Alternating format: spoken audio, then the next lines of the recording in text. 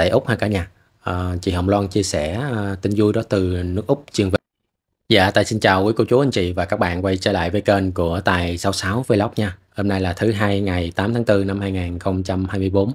Giờ này à, gần 7 giờ tối rồi cả nhà, kém 15 phút nữa là 7 giờ tối rồi.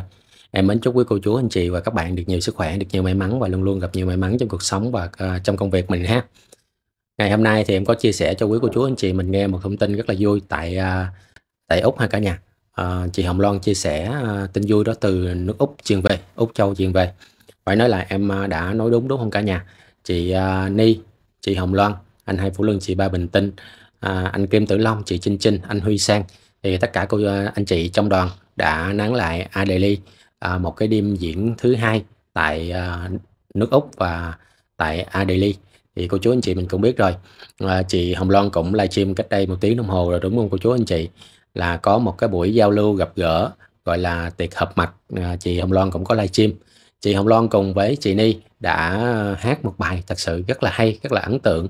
Hai người à, song ca và kết hợp cái bài áo mới Cà Mau. Phải nói là vô cùng hay cả nhà. Thì chị Ni sau khi hát xong, chị Ni cũng có chia sẻ rằng chị Ni không phải là ca sĩ, thì à, hát nhiều khi cũng có những cái trong trên. Chị Hồng Loan cũng vậy cả nhà thì từ trước tới giờ em làm video cũng như là chị Hồng Loan hay là tất cả các anh chị nghệ sĩ khác cũng nói là chị Hồng Loan không phải là ca sĩ chuyên nghiệp chỉ là giao lưu gặp gỡ thôi. Cô chú anh chị mình yêu mến nên à, đã mời chị Hồng Loan cũng như là các anh chị trong đoàn nán lại một ngày để giao lưu gặp gỡ. Nhưng mà cái à, với cái sự giao lưu gặp gỡ thì cũng không phải không không hề nhỏ đâu cả nhà. Em thấy xung quanh á à, cái à, phòng tiệc á thì à, những cái bàn đặt bàn á cả nhà em có thể đếm đâu đó cũng khoảng à, một một chục, hai chục bàn cả nhà. Cũng à, chiếm cũng phải à, rất là nhiều ha. Một bàn mình tính 10 người thôi. Một chục bàn thì hết 100 rồi, hai chục bàn cũng 200 300 người đó cô chú anh chị.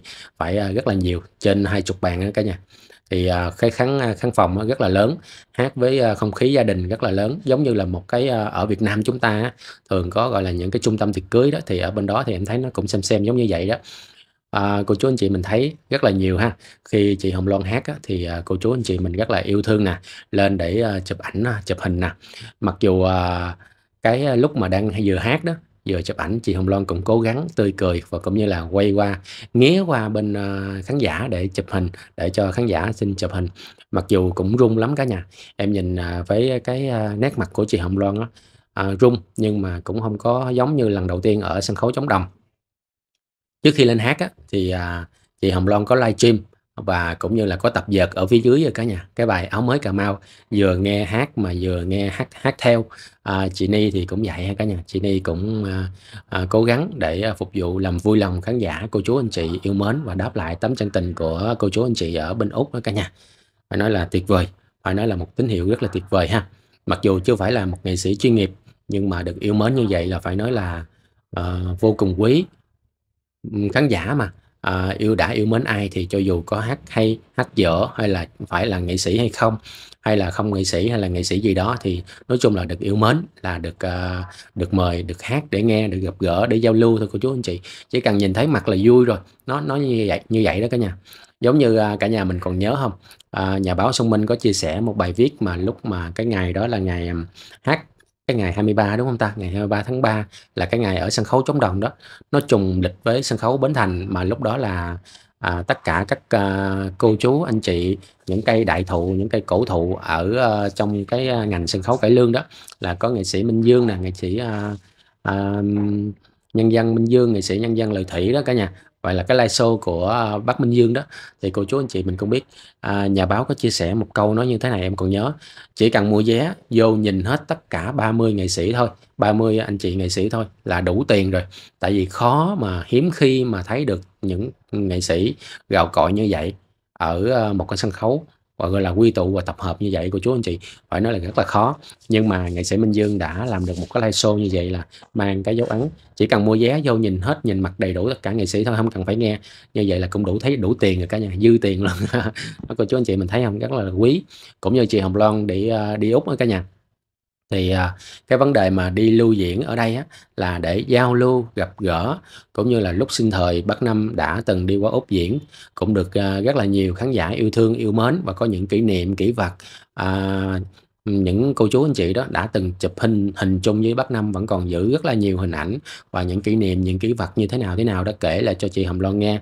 Phải nói là cái chuyến đi lần này chị Hồng Loan thu lại rất là nhiều, nhiều nhất là tình cảm của cô chú anh chị và nhiều thứ hai nữa là nhớ được và cũng như là nghe được những cô chú anh chị lớn tuổi đã từng gặp gỡ bác Năm và đã từng, uh, sẽ coi như Bắc Năm là một chi kỷ và bên cạnh đó là có những cái kỷ niệm vui, những kỷ niệm buồn kể hết cho chị Hồng Loan nghe. Đó là một cái, gọi là, thu thu về một cái cho mình một cái, um, hiểu biết thêm về lúc mà sinh thời ba của mình đã từng, ờ, đi diễn và được yêu mến như thế nào.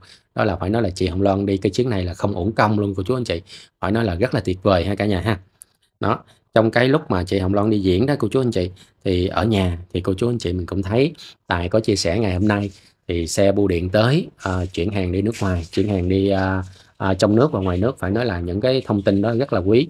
Mặc dù uh, không có chị Hồng Loan ở nhà nhưng mà chị Bùm Bum vẫn uh, cố gắng chăm sóc uh, shop uh, ăn vặt của chị Hồng Loan hàng nhập và xuất đều đều cả nhà. Rất là nhiều ha rất là nhiều đơn hàng được đi trong nước và ngoài nước luôn cô chú anh chị. Đó là một cái tín hiệu rất là vui ha, rất là vui luôn cô chú anh chị ơi. Và bên cạnh đó thì à, anh Hải cũng à, à, không ngừng nghỉ livestream bán hàng ở shop Bun Bun để à, cho có những cái đơn hàng mà gọi là giao đến tay bà con cô bác mình nhanh nhất có thể ha cả nhà. Là livestream miệt mài luôn rất là nhiều ha cả nhà. Đó là một tín hiệu rất là vui mà em muốn chia sẻ cho quý cô chú anh chị và các bạn mình à, ngày à, 14 tây tháng 3 thì à, ngày 14 tây hay ngày 13 ta? Ngày 13 tây tháng 4 ngày 13 tây tháng 4 em xin lỗi. Ngày 13 tây tháng 4 thì à, tiếp tục có một chương trình show diễn ở một cái tiểu bang khác. Rồi sau đó sẽ kết thúc chương trình à, diễn lưu diễn ở Úc và gặp gỡ giao lưu ở Úc ha cả nhà. Sau đó chúng ta gặp gỡ ở à, sân khấu ở Tây Ninh thị xã Hòa Thành tỉnh Tây Ninh cách chợ Long Quang 700m và cách ừ, tòa thánh Tây Ninh. Đâu đó một cây máy hai cây số thôi cả nhà thì à, cô chú anh chị mình hãy mua vé ủng hộ à, bầu xô Huy ha anh Huy Lê à, để à, có những cái ghế à, ngồi đẹp nhất ở sân khấu ở Tây Ninh. Sau đó thì chúng ta gặp gỡ nhau ở, uh, sân khấu chống Đồng. Sân khấu chống Đồng thì có một cái, uh, chương trình đặc biệt ha cả nhà, đó là với chủ đề, uh, "Không phải của mình", còn ở Tây Ninh là chủ đề "Nghĩ về cha", còn sân khấu ở chống Đồng thì cái sân khấu nó, với chủ đề là "Không phải của mình", với sự góp mặt của ca sĩ Quách Tuấn Du nè, à, chị Hồng Loan, con của cố nghệ sĩ ưu tú Vũ Linh. Để em tìm lại cái poster cô chú anh chị. Em còn giữ cái poster không Phải nói là đó là một cái tín hiệu lúc nào cũng thấy rất là vui khi mà có chị Hồng Loan đó cả nhà.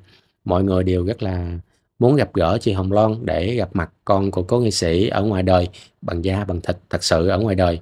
Chứ còn à, đi hát thì à, chị Hồng Loan cần phải trau dồi kinh nghiệm kiến thức về à, thanh nhạc nhiều hơn. Nhưng mà cô chú anh chị mình cứ yên tâm ha là chị Hồng Loan cũng à, đang có một người thầy đang dẫn dắt về vấn đề mà thanh nhạc đó sau này thì em nghĩ là chị Hồng Loan sẽ phát triển nhiều hơn về cũng như là tự tin hơn, đứng vững trên sân khấu chuyên nghiệp hay cả nhà ha. Ừ, chị Hồng Loan có một cái chất giọng phải nói là rất là độc đáo luôn. Khán giả mình rất là yêu thương. Tại vì à, mỗi người cần có một cái chất giọng riêng, không ai giống ai cả nha Nếu mà giống nhau thì đâu còn gì là một cái riêng của mình nữa. Giống như ca sĩ Đàm Vĩnh Hưng thì cũng có một cái giọng riêng ha. Rồi à, nhiều ca sĩ khác giống như là chú Châu Thanh cũng có một làn hơi dài à, cô Cẩm Tiên hoặc là cô Phượng Hằng thì cũng có một làn hơi dài bác Minh Dương thì cũng có một cái à, gì đó chăn chắc à, thật thà nó riêng của mình còn à, anh à, Kim Tử Long thì cũng vậy ha cả nhà. Mỗi người đều có một cái sở trường mỗi người đều có một cái chất giọng riêng. Thì chị Hồng Loan cũng vậy ha cái giọng khàn khàn vậy mà nó hay. Nói chung là nó trầm nó ấm và dễ thương dễ dễ mến dễ gần. À, bà con cô bác chỉ cần yêu thương quý mến là được ha cả nhà. Chứ à, đâu có cần thiết mà gọi là à, giống à, ai kia một nghệ sĩ tên tuổi một nghệ sĩ lớn gì đó mà đâu có được như Hồng Loan đâu cả nhà. Chị đi hát những cái gọi là nhà hàng khách sạn gì đó thì mà xong khi thì à, những cái bó hoa của chị Hồng Loan đó lên công khai nè và những cái hiện kim nè những cái ôm thấm thiết nè những cái gọi là động viên đó thì cô chú anh chị mình cũng thấy rồi. Rất là nhiều ha đó là tình cảm thật sự chứ không phải như ai kia. Nói ra thì à, lại mất công là nói mình à, khịa nhưng mà đó là thật thực tế đó là một cái câu chuyện thực tế ha cả nhà thật sự mà nói là có những người mà phải dúi tay ở dưới bàn để gọi là lén lén lúc lúc thôi chứ còn chị Hồng Loan thì cứ công khai công khai thoải mái bình thường hả quý cô chú anh chị? Không cần phải à, lén lén lúc lúc rồi bây giờ thì em uh, chia sẻ lại cho cô chú anh chị mình à, một cái thông tin này nè. Ngày hôm nay thì em cũng có chia sẻ rồi, phải nói là Yeah đó cô chú anh chị. À, Yeah nó luôn có những cái động thái và có những cái mà, gọi là, muốn, uh, công kích người khác, có một tập đoàn nít ảo, nít giả đi công kích những ai mà bên cạnh, à, Hồng Loan, ủng hộ Hồng Loan. À, thậm chí là Tài lên video như thế này còn bị công kích nói gì nhạc sĩ ha cả nhà. Nhạc sĩ Nguyễn Minh Anh ngày nay thì em cũng có chia sẻ rồi, bây giờ em muốn chia sẻ lại cho cả nhà mình xem và chúng ta hãy luôn luôn ủng hộ những ai yêu thương, ủng hộ cái, à, lẽ phải, ủng hộ cái đúng, ủng hộ cái công bằng, ủng hộ Hồng Loan, ủng hộ con gái của cố nghệ sĩ ha cả nhà. Bây giờ em nói cả nhà mình nghe như thế này nè, à, bây giờ là tất cả các nghệ sĩ, à, trong cái giới nghệ sĩ, trong giới showbiz đi, thì ai cũng biết mẹ con nhà Gia ai cũng biết Hồng Loan, ai cũng biết cố nghệ sĩ. Bằng cái minh chứng là trong lúc đám tang của cố nghệ sĩ đó cả nhà, rất là nhiều anh chị nghệ sĩ đến để, à, gọi là, chia buồn cùng với gia đình. Nhưng mà bây giờ gần cả một năm hơn rồi, tại sao mẹ con nhà Gia vẫn không có một tiếng nói nào, vẫn không có một nghệ sĩ nào ủng hộ, à, mẹ con nhà Gia Vì sao cả nhà? Vì người ta đã biết quá rõ ràng, người ta biết quá rành về mẹ con nhà gia là như thế nào, sống có đạo đức hay không, hay là, uh, đòi đồng sở hữu là một cái điều không thể nào chấp nhận được trong cái xã hội này. Đó là một vấn đề về đạo đức nữa cả nhà. Tại vì sao người ta không lên tiếng, người ta không binh vực mà cứ binh vực Hồng Loan thôi, cứ ủng hộ Hồng Loan thôi. Mặc dù có những nghệ sĩ người ta ủng hộ Hồng Loan nhưng mà người ta không ra mặt, người ta không lên tiếng, mà người ta ủng hộ âm thầm ở bên bên trong, ở, ở phía sau. Vì, à, biết rằng là là Yeah nó sẽ, gọi là, công kích, à, khi mà ra mặt cái công kích người ta còn phải có công ăn việc làm, người ta phải lưu diễn và hình ảnh của nghệ sĩ nữa ha cả nhà. Em đã nói rất là nhiều rồi, thì cô chú anh chị mình cứ nghĩ đi, nói luôn nói chị Hồng Loan con nuôi con ruột thế này thế kia, nhưng mà cái, uh, chờ phút cuối đi sẽ có những cái màn kịch hay diễn ra là cái ngày ra tòa đó cô chú anh chị. Cái ngày ra tòa chị Hồng Loan, chị Hồng Ni sẽ cho cô chú anh chị mình thấy được những cái bí mật mà được cái bức màn nó sẽ dán ra và mình sẽ thấy được cái điều mà, gọi là, thật sự là rất là bất ngờ. Mẹ con nhà dê phải ngã ngửa về, à, cái vấn đề và cũng như là trả giá về những cái sự việc mà mẹ con nhà Yeah đã làm trong, uh, bao nhiêu, uh, tháng qua hay cả nhà. Rồi, bây giờ quay trở lại với cái, à, cái vấn đề của, à, nhạc sĩ Nguyễn Minh Anh. Thì nhạc sĩ Nguyễn Minh Anh đã có sáng tác cái bài, à, "Tuổi phận đời con" với bài "Thôi kệ đi" để dành tặng cho chị Hồng Loan đó. Thì phải nói là cái bài hát này nó sáng tác vào và cũng như là dành tặng cho chị Hồng Loan đúng vào cái thời điểm giống như cái bài của "Không phải của mình" của, à, ca sĩ Quách Tiến Du á cả nhà, của nhạc sĩ Cao Minh Thu đó. Thì nói chung là đúng thời điểm, thật sự đánh vào cái tâm lý và cái cái cái sự, cái cái cái cái bối cảnh, cái thời đại hiện hiện đại bây giờ, nó đúng vào cái, à, thời điểm rất là đúng luôn cả nhà. Nên, à, có thể có lẽ là ai đó đã, gọi là, nhột ha, nhột và đi công kích, à, nhạc sĩ Nguyễn Minh Anh. Nhạc sĩ Nguyễn Minh Anh có chia sẻ như thế này: "Mệt ghê vậy đó, chửi hoài luôn, thấy cái nick ảo là biết não ít rồi. Đó, chửi cũng phải đầu tư tìm hiểu chút xíu để nói rõ cho một lần nghe nè. Bài hát đầu tiên tôi viết cho Hồng Loan là bài "Tuổi phận đời con", bài thứ hai là bài "Thôi kệ đi", còn trước đó không có bài viết nào hết trơn á.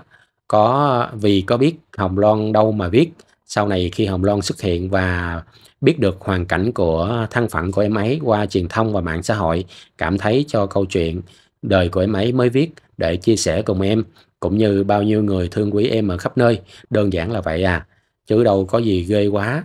Như bạn nói, có lộn tiệm không vậy, bà nội gầu ghê." Thì có một người vô đó là nói nhạc sĩ Nguyễn Minh Anh bây giờ là những người nhạc sĩ bây giờ, gọi là, biến chất thái quá vì tiền này kia nọ, nhưng thật chất nó nói như vậy á thì khác nào nó tạt cái gáo nước lạnh vào mẹ con nhà dê cả nhà. Những con dê con nó nó nó comment, nó bình luận mình nó không hiểu được cái vấn đề là ai đã biến chất và ai đã thái quá và cũng như là ai đã vì đồng tiền mà làm mờ đi lý trí. Đó, chỉ là mang tiếng ngàn đời thôi, ai trong cái câu chuyện này là ai thì nhưng, à, tự tự khách thì ai thì người đó sẽ nhột hay quý cô chú anh chị. Không từ một cái thủ đoạn nào, à, kiện tới kiện lui, kiện xuôi kiện ngược, nói chung là kiện vô lý, kiện bất chấp, miễn sao kiện để kéo dài thời gian để không biết làm cái gì, nhưng mà cứ kiện thoải mái và kiện giống như là có tiền thì cứ kiện thôi cô chú anh chị, kiện để cho đã cái nư hay sao á. Chứ à, ở đây thì em thấy á là cái người này á đi công kích nhạc sĩ Minh Anh nói cái thể loại này, thể loại kia các kiểu ha, rồi đổ thừa cho, à, drama để bu bám này kia, nhưng không phải. Đây là một cái cảm cái cảm nhận ha, cũng như là cái thân phận người ta cảm được cái tình cái tình thương và cũng như là cái nỗi hàm quan à, cái nỗi mà, gọi là, khổ cực à, của Hồng Loan trong suốt ba mươi mấy năm qua.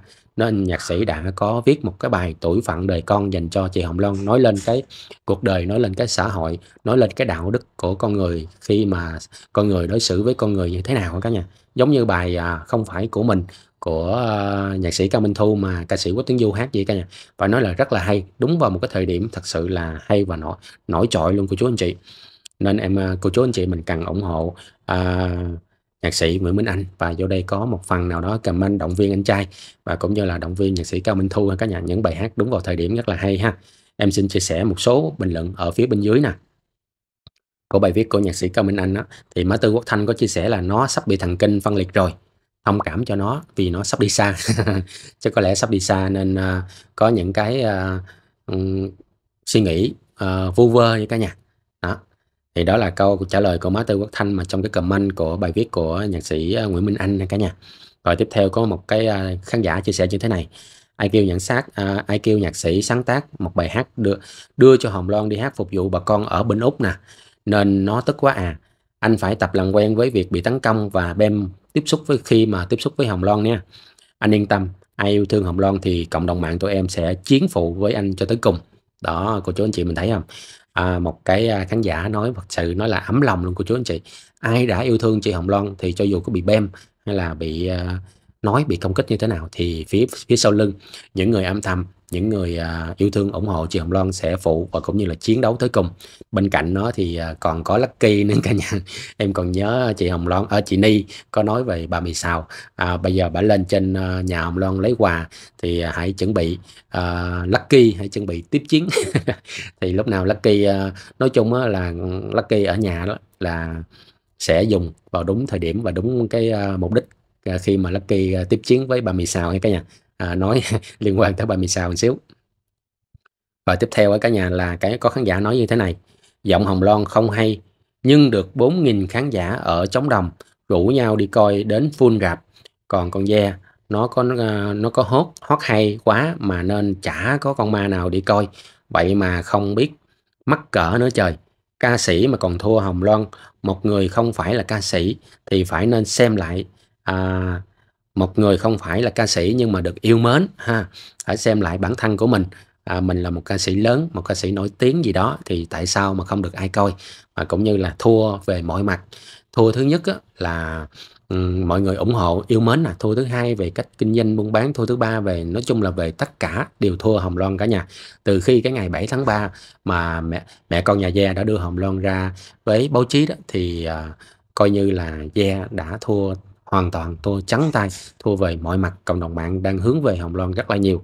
Phải phải nói rằng là Ye đã đưa Hồng Loan lên một cái đỉnh vinh quang, đưa Hồng Loan vào cái ánh à, gọi là cái ánh hào quang đó cả nhà. Bắc Năm đã cho Hồng Loan cái ánh hào quang và cũng như là nhờ sự tiếp tay của mẹ con nhà Gia vô tình lắm cái ván bài nó lật ngửa. Không ngờ mẹ con nhà Gia cứ tưởng đâu là mọi người sẽ yêu mến và cũng như yêu mến mẹ con nhà Gia, giúp đỡ mẹ con nhà Gia đạt được cái mục đích, đạt được cái kế hoạch của mình. Nhưng mà không ngờ là Hồng Loan hay cả nhà, người ta nói là sống có đức, mặc sức mà ăn. Cũng như là ở hiền thì sẽ gặp lành. Cô chú anh chị. Đó là câu nói ngàn đời không bao giờ sai được cái điều đó, ha. Rồi tiếp theo là có một khán giả nói như thế này không phải nhạc sĩ sáng tác ra bài hát này là để tô đẹp cho Hồng Loan hay là công kích một ai kia, mà anh ấy muốn đồng cảm, xót thương cho một hoàn cảnh, một cuộc đời mà Hồng Loan đã được, đã đã được kinh qua suốt ba mươi mấy năm trời, ha. Nếu một ai đó có thể yêu thương, ủng hộ thì à, xin chân thành cảm ơn. Còn nếu không thể thì xin bỏ qua, đừng buông lời cay đắng. Nhưng riêng bản thân tôi thì sẽ ủng hộ hai anh em, Minh Anh và Hồng Loan mãi mãi đó cô chú anh chị, cả nhà thấy không? Phải nói là rất là quý tấm chân tình của cộng đồng mạng, thật à, và cũng như là cái à, vị khán giả này. Phải nói là nói rất là đúng ha. Bây giờ cũng không công kích ai đâu cứ bài hát này nói lên cái thực tế của cái xã hội và cũng như là đồng cảm và cái sự xót thương của một người nhạc sĩ đối với Hồng Loan. Bây giờ hát lên như vậy thì ai nhột thì ai có giống như vậy thì người ta nhột thôi chứ đâu có gì đâu mà phải uh, uh, đắng cay cay đắng và cũng như là phải có buông lời mỉa mai như vậy ha cô chú anh chị. Thì bây giờ nói người ta cứ nói bâng quơ vậy thôi. Nhiều khi đụng tới trái tim mình mình có mình có hay sao mà mình phải nhột ha. Rồi tiếp theo khán giả có nói như thế này. Xuống bốn câu giọng cổ, khán giả vỗ tay cái rằng rằng, như trời giáng xuống đầu bọn ghen ăn tức ở. không cai sao được anh ơi ủng hộ anh vì chính nghĩa nè. Nó thì phải nói là xuống bốn câu giọng cổ rất là hay ha cả nhà. Em còn nhớ là bốn câu giọng cổ đó được ừ, ban đầu á thì cái bài hát đó chỉ có hai câu thôi. Rồi sau này thì uh, chuyển thể thành uh, bốn câu. Và cái bếp nhạc đó được uh, thay thế thay thế qua cái giọng là tông nữ và cũng như là phù hợp với lại cái chất giọng của chị Hồng Loan. Để em tìm lại bốn câu giọng cổ đó em chia sẻ cho quý cô chú anh chị mình à, à, xem ha. Chứ à, bây giờ thì em cũng quên để coi à, nó nằm ở cái khúc nào ta. Đây. Đây nè cả nhà. Bốn câu giọng cổ đó có ghi như thế này thay vì trước đó thì cái bản nguyên nguyên bản á, nhạc sĩ Nguyễn Minh Anh chỉ có hai câu thôi. Bây giờ là bốn câu ha con nhớ cha nhớ từng câu giọng cổ từng vai diễn cải lương cha để lại cho đời. Cha nơi chính suối ngậm cười giờ con đã có mọi người yêu thương.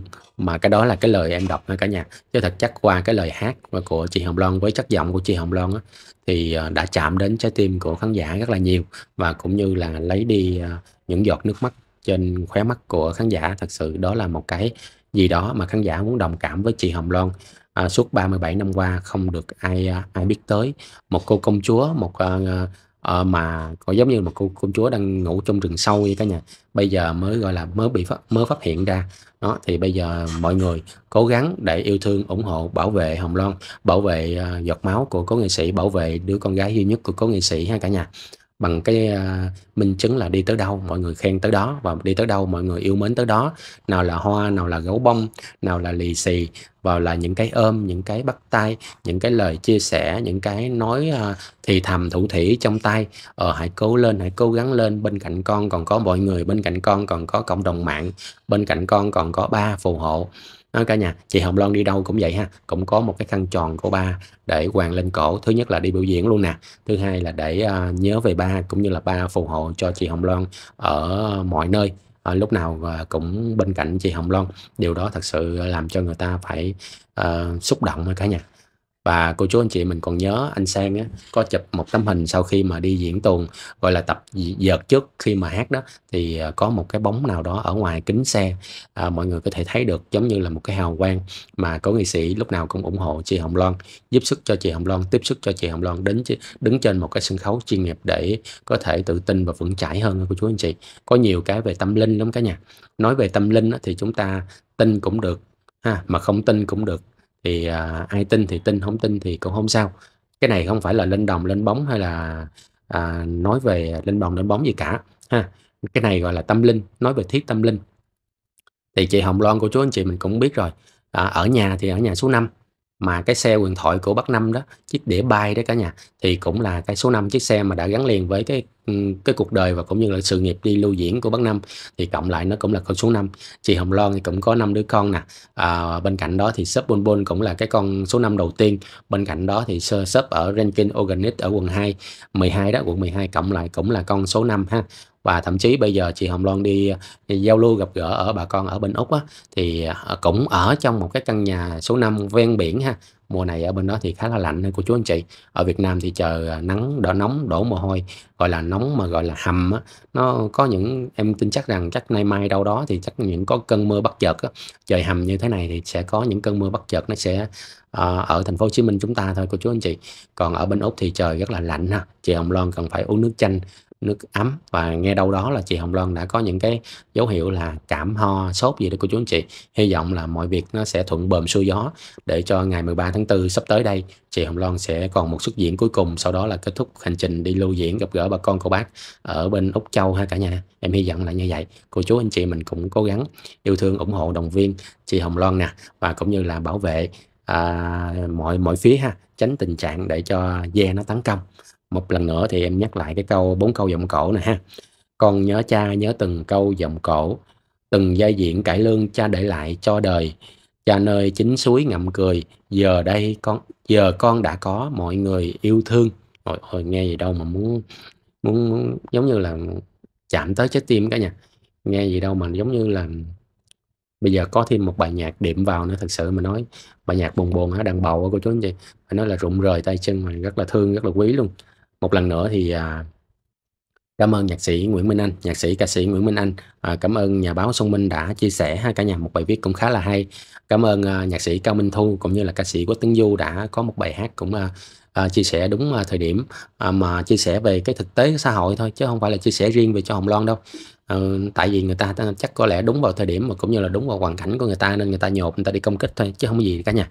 Yên tâm ha, mọi người đều có à, à, ông trời đã có sự sắp đặt và cũng như có sự an bài sẵn rồi. Đâu vào đó hết trơn à cô chú anh chị chứ ờ, không trời không bao giờ lưới trời ờ, à, lồng lộng tia thưa mà khó lọt ha cô chú anh chị? Hãy đợi cũng như là ngồi xem kịch cái màn à, gọi là còn dài lắm còn rất là dài và bên cạnh đó là sẽ có những cái bất ngờ.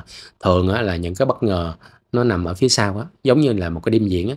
Lúc nào cái gọi là cái cái cái trụ cột của một cái đêm diễn hoặc là những cái bất ngờ thường nó nằm ở phía sau cùng mọi cả nhà. Chúng ta hãy chờ đến kết thúc rồi chúng ta sẽ biết được cái đại cuộc à, sẽ như thế nào.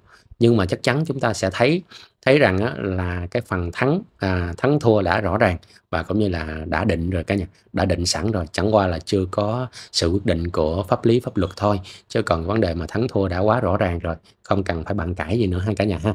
Điều đó chúng ta ai cũng thấy hết ha. Thôi thì à, Cảm ơn, à, cô chú, anh chị và các bạn mình đã quan tâm, theo dõi, yêu thương, ủng hộ Tài, à, đã dành thời gian quý báu của mình ra để theo dõi cái video này. À, đó là một cái tin vui, à, từ bên Úc Châu truyền về và cũng như là một đêm diễn khá là thành công nữa. Coi như là cái, à, sức sức diễn này, gọi là, cái sức diễn, um, uh, phát sinh phát triển phát sinh thêm hay cả nhà? Chứ không có trong cái dự kiến của à, cái lịch trình đi. Nhưng mà cái xuất diễn này là xuất diễn phát sinh của một à, ông chú nào ông chú nào mà cũng như là bộ show gì đó. Ở bên úc là muốn chị hồng loan cũng như là muốn đoàn diễn hát giao lưu gặp gỡ cũng như là tách uh, hợp mặt trong cái đêm nay nữa. Phải nói là một một đêm thật sự là tuyệt vời của đoàn anh chị mình đi giao lưu gặp gỡ bên úc châu ha. Xin chào và hẹn gặp lại ở video tiếp theo. Cảm ơn cô chú anh chị và các bạn mình đã quan tâm theo dõi ạ. à.